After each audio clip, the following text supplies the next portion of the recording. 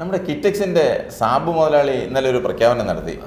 Twenty ട്വന്റിയും ആപ്പും അവർ നിങ്ങൾക്ക് യുക്തമായിട്ടുള്ള മനസാക്ഷിക്ക് അനുസരിച്ച്. വോട്ട് ചെയ്തോളാം നല്ല മനസാക്ഷി വോട്ട്. നമ്മൾ ഒറ്റ വാക്കിൽ പറഞ്ഞാൽ മനസാക്ഷി വോട്ടാണ് ഇന്നലെ തൃക്കാക്കരയിൽ അദ്ദേഹം പ്രഖ്യാപിച്ചത്. എന്നാണ് ജനക്ഷേമ മുന്നണി ജനക്ഷേമ മുന്നണിയുടെ പ്രവർത്തകർ അങ്ങനെ ചെയ്യണം. ആരെങ്കിലും അങ്ങനെ ഇദ്ദേഹത്തിന്റെ വാക്ക് കേട്ട് ആരെങ്കിലും അങ്ങനെ വോട്ട് ചെയ്യും? ശരിക്കും പറഞ്ഞാൽ ഇതിന്റെ അകത്തുള്ള വേറൊരു കാര്യം ഇദ്ദേഹം വലിയ വീരശൂര പരാക്രമിയാണ് എന്ന് അദ്ദേഹം തന്നെ പറയുന്നു പറയുന്നു. ഇവിടെ അല്ലെങ്കിൽ ഞാൻ രാജ്യാന്തര. പോവും തെലങ്കാനയിൽ പോവും വിദേശത്ത് പോവും ഇങ്ങനെയൊക്കെ എന്ന് പറഞ്ഞു. പക്ഷേ ശരിക്ക് പറഞ്ഞാൽ ഇയാൾ പേടിച്ചിരിക്കുന്നു എന്നുള്ളതാണ് കേരള സമൂഹം ഇപ്പോൾ പ്രതീക്ഷിക്കുന്നത്. ഞാൻ ആനയാണ് കുതിരയാണ് എന്ന് പറഞ്ഞ് നടന്ന ആൾ ഇപ്പോൾ കൊതുവായി നടക്കുകയാണ്. അല്ലെങ്കിൽ ഞങ്ങൾ മത്സരിക്കും ഞങ്ങൾ പിന്നെ ഇതിന് മറുപടി പറയിപ്പിക്കും എന്ന് പറഞ്ഞ് എന്നെ ജീവിക്കാൻ അനുവദിക്കാത്ത ഗ്രൂപ്പുകളിനെതിരെ ഞാൻ പോരാടും എന്ന് പറഞ്ഞ് ചാടി ഇറങ്ങിയ ഇദ്ദേഹം ഇപ്പോൾ പറയുന്നു ഞാൻ ഒരിടത്തും ഒരു സമദൂരമാണെന്ന്. രണ്ട് കാലും പോയേ ഉള്ളൂ ഈ സമദൂരം വെച്ച് കഴിഞ്ഞാൽ. പിന്നെ രണ്ടാമത്തെ കാര്യം ഈ ഇയാളുടെ ഈ പ്രസ്താവന ഒരു കാര്യം നമ്മൾ ശ്രദ്ധിക്കേണ്ടത് രാഷ്ട്രീയ നിരീക്ഷണം എന്നുള്ളത് നമ്മൾ ശ്രദ്ധിക്കേണ്ടത് മൂന്ന് ഗ്രൂപ്പും സ്വാഗതം ചെയ്തിരിക്കുന്നു എന്നുള്ളതാണ്. അതിന്റെ വേറെ പ്രത്യേകത. ഏത്? അത്. L D F. U D F നമ്മുടെ രാധാകൃഷ്ണന്റെ ബി ജെ പി.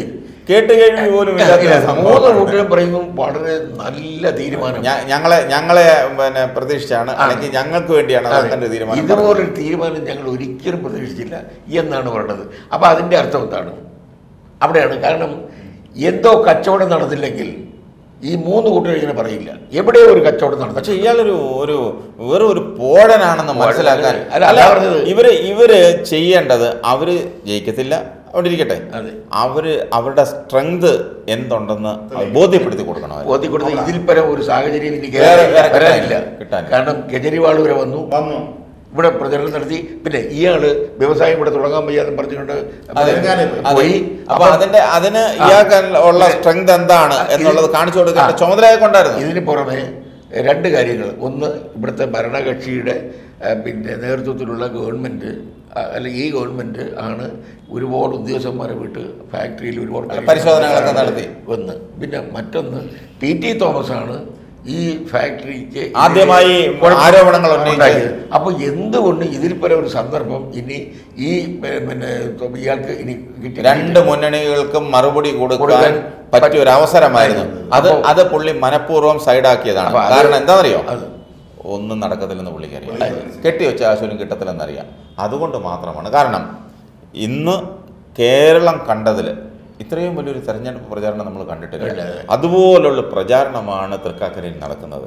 അത് ഭരിക്കുന്ന പാർട്ടി ആയാലും പ്രതിപക്ഷത്തിരിക്കുന്ന പാർട്ടി ആയാലും ഇത് രണ്ടിലും അല്ലാത്ത പാർട്ടി ആയാലും ശരി തന്നെ അതിഭയങ്കരമായ വർക്കാണ്. മാത്രമല്ല ഏതെങ്കിലും മുന്നോട്ട് ഇയാൾ ആനുകൂല്യം പ്രഖ്യാപിച്ചു കഴിഞ്ഞാൽ പിന്നെ തീർച്ചയായിട്ടും പിന്നെ ഇയാൾക്ക് നിലനിൽപ്പിന്റെ പ്രശ്നം വരുമെന്നുള്ള ഇയാൾ ഭയക്കുന്നു. ആരെ ഈ ടെക്സുകാരൻ സാബു മുതലാളി. സാബു. സാബു ഭയക്കുന്നത് ഇപ്പൊ എൽ ഡി എഫിനോട് ചോർന്നു കഴിഞ്ഞാൽ യു ഡി എഫ് നാളെ അടിച്ച് തകർക്കാൻ നോക്കും.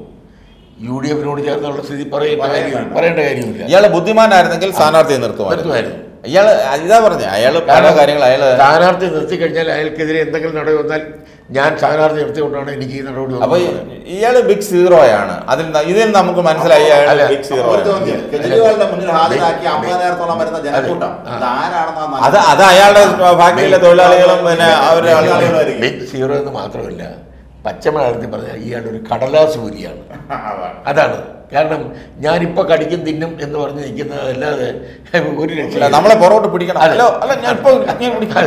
ഇപ്പൊ ഞാൻ തട്ടിക്കളയും എന്ന് പറയും പോലെ. ഇല്ലേ, ഏതോ സിനിമയ്ക്കകത്ത് ആ, ജഗദീഷ് ശ്രീകുമാറിനെ. ഇത്തരം കടലാസ് അതെ, ഇത്തരം കടലാസ് പുലികളെ കേരളം ഒരുപാട് കണ്ടിട്ടുണ്ട് സുഹൃത്തെ.